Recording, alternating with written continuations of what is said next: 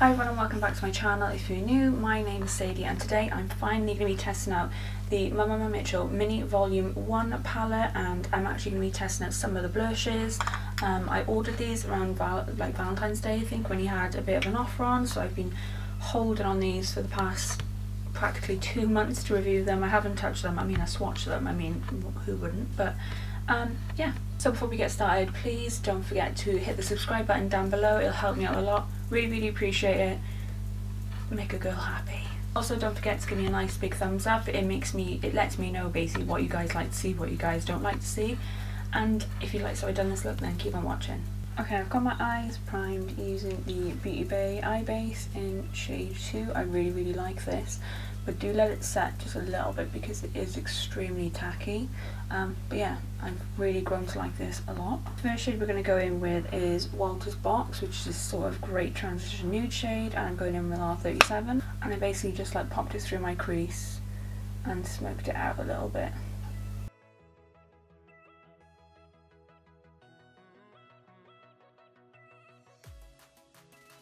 Just like so. This is such a pretty transition shade just for ev every day as well. I then picked up an Urban Decay Smoky Crease brush, so it's still quite nice and fluffy, it's just a little bit smaller. And I took the shade Halfway, which is like this medium neutral brown. And I basically like tucked it into my crease first. Just like so, just literally chuck it on there first. And then went back in with that first brush and just blended it out.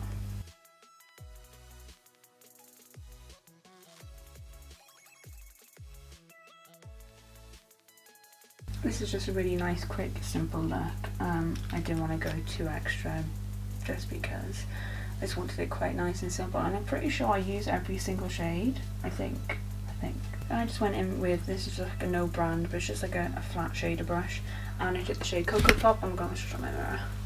Which is this one. It's not a black, but it is. It's like a deep grey, I'd almost say. And I basically tuck that right in my crease as you can see I'm not being careful at all. I didn't really want it to be super super clean, just like so. I did take the urban brush with halfway on it and I just blended that out.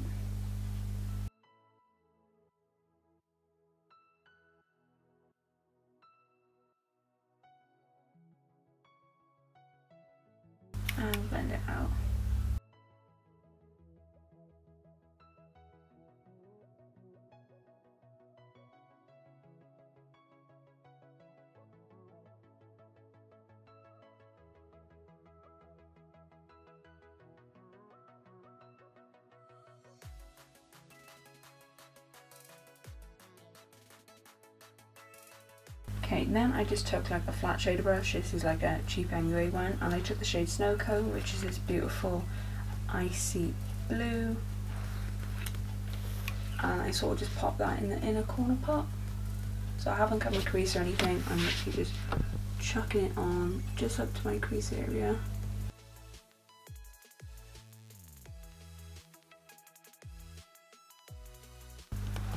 Just like so. Same brush, I'm going to take, is it went in with? Yeah, Mirmitch, which is this blue. Really coat that on my brush. And I did go in with a bit of setting spray for this one. And I basically just popped it all over the rest of my lid. And mixed it in with that snow cone shade. This is such a beautiful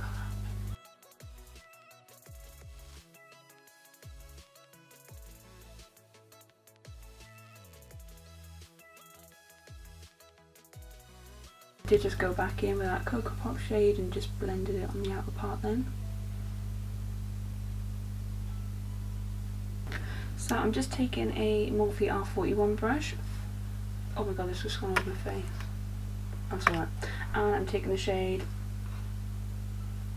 Apple Tie. I was going to say, I'm going to say that right, which is this beautiful lime green. Same with this one. I'm going to use setting spray. Also, I'll give my thoughts on that at the end with all of this palette. So I don't want to say anything right now. And I'm going to pop that in my inner corner.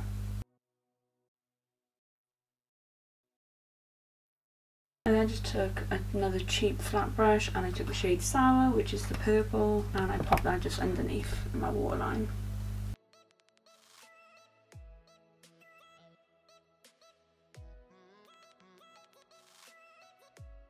Then I just went in with a Morphe R573 and I took the shade Shy Tie. I hope I'm saying that right, probably not. And just done like a really quick blend underneath. Nothing special. You do have to go back in with sour when you do this bit though, so I did go back in with that, just to intensify it a little bit more.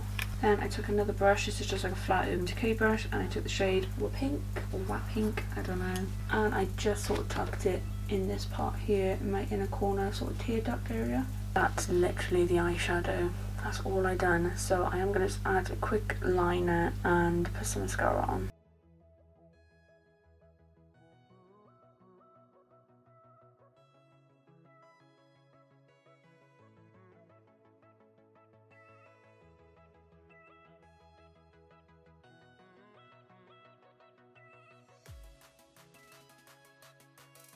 Alright, so this is what it looks like with lashes on. I'm using the Girls with Attitude Mermaid ones. I absolutely love these lashes. Um, so yeah, I might put a line liner on, but I kind of like it quite nice and bright. So I'm just going to quickly do my base and we'll get on with the blurshes. It feels so weird to say that. I did pick up the whole set, so I do have the six. So I've got Rosy Posy, which is this pink, Sweet Cheeks, which is a brighter pink.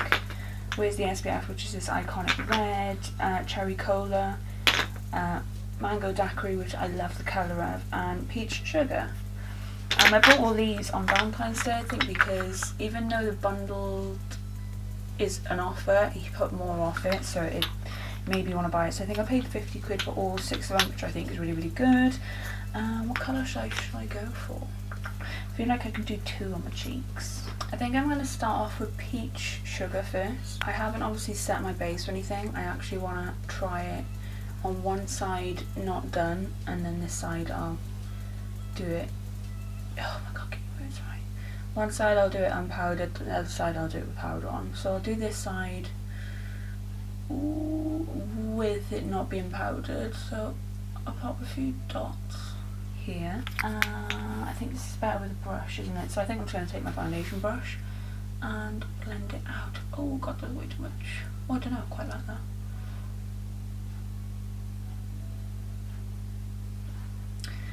kind of like a 80s vibe right there. That's blended out really nicely though. I want a bit too overboard, but that's okay. Well, there's me saying I wanted to go into two, but I might go with a bit more of a darker one actually. I think I'm actually going to take a bit of cherry cola. Just put on the end bit. So I've put way too much on that again. Just deepen it here.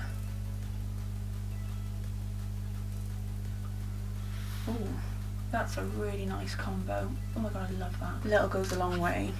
That is very, very pigmented. Very nice. That's what it looks like on um, not powdered skin, so my foundation is still wet and that's blended in really nicely, but we'll see what the test is when I do it on a powdered side. So let me just quickly do the rest of my base and I'll be right back. Okay, so that's what it looks like with powder on top and I even put my blusher on, um, no, not my bronzer on top and I blended really really nice. I also powdered with the Jeffree Star Luminous Powder because I love it. So I'm going to do exactly the same what I've done. So I'm going to put peach sugar here, roughly around the same amount. Can I just say though, these are really, really creamy to feel, like to the touch. Is that more?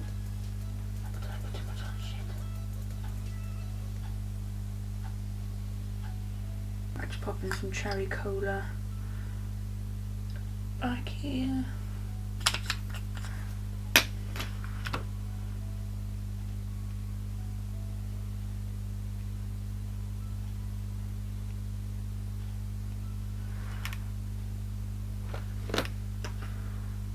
I really really like this side and this side's just this is my fault because I obviously put too much on this side so if I didn't put as much product I think this would look a lot better I'm going to try and put bronzer on top of this this could go really wrong oh no it's okay I mean it looks bad anyway you need a very little amount. It has slightly picked up product here. To be honest, my skin just looks nicer on this side. Yeah, it's way too pigmented on this side, but it's fine because this is my photo side, so it should be all okay. Yeah, I mean, like obviously it's a liquid on a powder base, so it will probably congeal a little bit more and set a bit more. But I don't know, the more I'm putting powder on it, I like it. Like it's still fine, it's not terrible. It looks terrible on camera, but it's really not in person. But it looks so much better with it being on top of wet foundation and then a powder on top, 100%. I'm just going to put tad bit, I mean like the smallest amount of cherry cola here. I've become that person that I really enjoy bronzer on the bottom of my nose.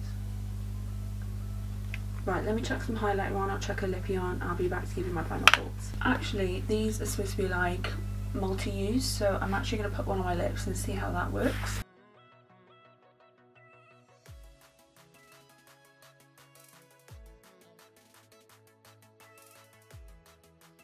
That's a really nice lip colour. Okay, one thing I'm scared about is that this isn't going to dry down, but it should do. Shouldn't it? The reason is because I want to put a gloss on. I was thinking maybe diamond juice. It did pick up candy drip for like a pale colour, but this doesn't feel like it's going to dry down on my lips at all. No, it's got like this amazing like soft matte, like it's sort of like a plush sort of um, lipstick effect, but I'm going to put um, Diamond Juice on by Jeffree Star on top because I just fancy the gloss. I'm actually going to put it on my hand because I don't want to, I hate, hate products on wands. There we have it guys, here's the finished look. Um, I really really like it. I mean it's nice and simple but it's still got a pop of colour and it's not too overboard. Well for me it's not, I'd happily go out. Like people need to realise that this is my like day-to-day -day makeup. Alright, first impressions of the palette. I do own the first two Head in the Clouds and Feet on the Ground palette, which I absolutely love to pieces, and I've been thinking about wanting to play with them again recently. I think this is 20 odd pound, 27 I want to say, 25, someone correct me, I can't be asked to look either. Um, but I'll be honest, shimmers in this palette do not perform as well as the original palettes, like in the original palettes I didn't have to like wet the shimmers or anything, whereas I had to with this. They're a little bit more drier, they're not as, to me anyway, they they are drier, they're not as creamy as his two first original. The matte's blended out really well. I will say like I think sour is a little bit hit and miss. Um, I actually did do a look before this and I didn't like it. It stained my eyelid and it didn't blend out, it was quite patchy, but that also could just be my eye base. Um, so yeah, like, I mean, they look great, but I had to wet them to get them to perform really good, whereas in his original palettes, they just, you don't need to do anything to them. Do I think it's worth it? I don't know about this palette, to be honest with you. I think it is probably a cohesive palette with the other ones, even though I really enjoyed the look that I've created with it. Um, I mean, you can do really nice naturals, but I do feel like this is probably going to be better used with like Head in the Clouds and Feet on the Ground palette personally for me. Um, would I recommend it? Not really. I think if you were going to get a palette, I'd get Isola 2. I bought it for the blues, let's be honest. Alright, the blurshes. I hate saying that word, I don't know why. It just doesn't, I don't know, gives me the shits, I think. No, that's me being really mean. Um, for the bundle, for what I paid for, totally worth it. I don't think I would pay 70 quid for all six of these. I'm really excited because I know he's coming out with bronzer in that one, so I will definitely be picking up one of them. But I have to admit, even on this side it is quite a lot and I went a bit overboard. I still really like it. But on this side, I adore it. Obviously, it's my first time trying it. I didn't know how pigmented were going to be. I know I've seen some people's reviews and they're like a little goes a long way. But it's sort of tempting to just put loads of dot on your face. Dots? So I really, really love it on this side. Like I think it looks absolutely beautiful. I think it looks fine on this side if I really wanted to go heavy with a look. You know, sort of like the 80s vibe, but I still really like it. Obviously, I know I only tried three colours. I mean, quite big ones, but I feel like they're more adventurous for me. Like, I, I'd like to do more of like an 80s or like a really flamboyant um, look to really really go all out with these blushes. But yeah super duper creamy. You don't need a lot of them um, I really really like these and I feel like these will probably become a huge staple because I never feel like I have enough blushes in my collection.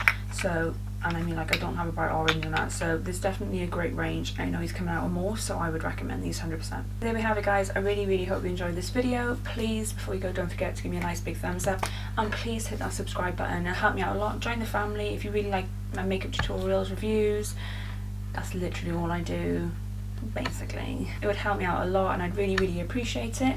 And um, yeah I hope to see you in the next video. Bye